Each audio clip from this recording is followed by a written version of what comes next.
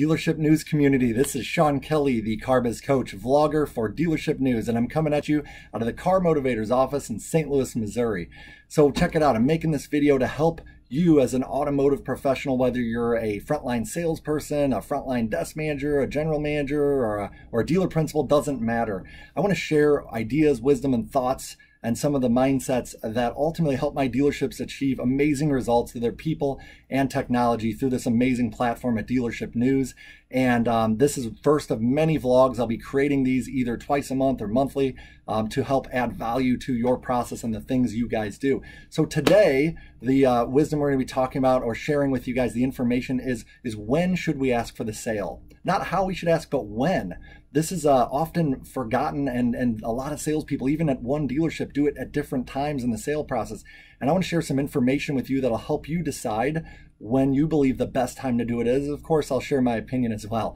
So there's three things we got to factor before I give you the answer. There's three things that factor into when we should ask for the sale. And if you look at my TV in the background, there's a graph on this, and the green line is showing you the step that, which you probably can't read, but the step that you should be asking for the sale.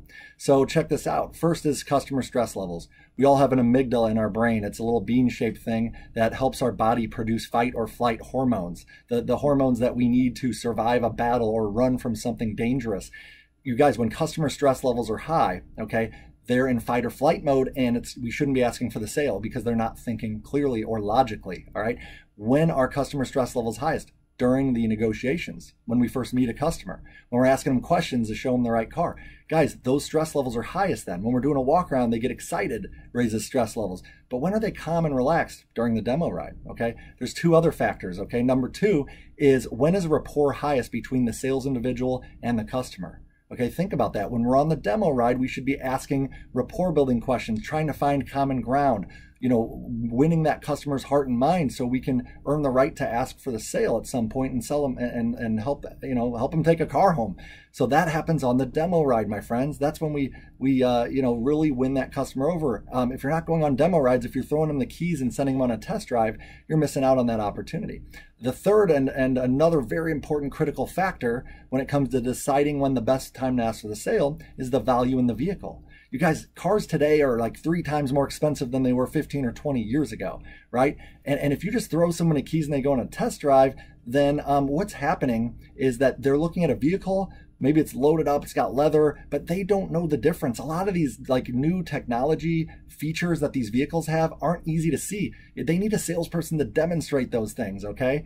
Um, and, and show them all the value that these vehicles have. Show them why the car is now 30 grand when 15, 20 years ago was only 8,000, okay? Someone's got to show them that value. So that happens on the demo ride as well. When the customer is, is behind the wheel and they're stepping on the gas and they feel that mental ownership, that's when the value in the vehicle is highest. As soon as you bring them inside, guys, by the way, as soon as you bring them inside, they're going to forget all that rapport value. The stress goes up. Why? Have you ever walked into a room and you're like, what, what did I come in here looking for? What the heck? That just happened to me this morning. I was like looking for my jacket. I was like, what? I was like, what did I come in this room looking for?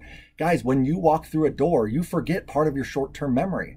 So the rapport and the value gets forgotten when you bring them inside and start writing it up. Thus, I want to share with you the best time to ask for the sale is on the demo ride. When you get back and you park the car, get their attention, ask for the sale. The value is the highest, the rapport is the highest, the stress is low. Don't do it after you bring them inside or before you even show them the car. Ask for the sale at the end of the demo drive. Guys, this is Sean Kelley, the Car Biz coach, CEO of Car Motivators, now part of the Dealership News community.